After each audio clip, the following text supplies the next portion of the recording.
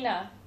Minister of Foreign Affairs Kasit Pirom on Tuesday ruled out rumors on the possible closure of the Saudi Arabia embassy in Bangkok and a halt to visa services for Thai Muslim pilgrims who would travel to Mecca to make the Hajj.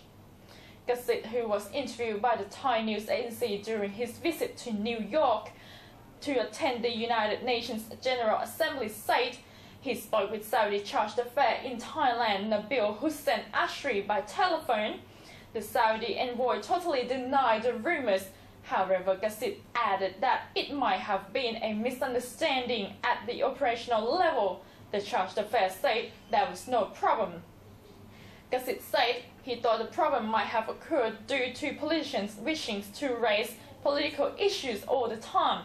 He asked them not to link international relations issues with the internal political arena, as this could damage the country's reputation. The rumor of possible closure of the Saudi embassy and a halt to issuing visas came after Saudi Arabia expressed concern about the recent promotion of Police Lieutenant General Somkit Buntanom from Commissioner of Provincial Police of Region 5 to Assistant National Police Chief due to his alleged involvement in the unsolved disappearance of Saudi businessman Mohammed Al-Ruwali in Bangkok 20 years ago.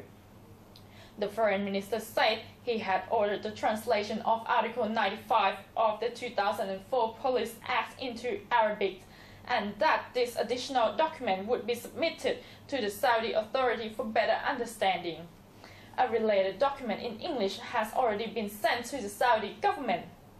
In the article, it is stipulated that any police officer who is alleged of or charged with breaching severe discipline or committing a criminal act would be ordered to quit his post temporarily until the legal proceedings have been complete.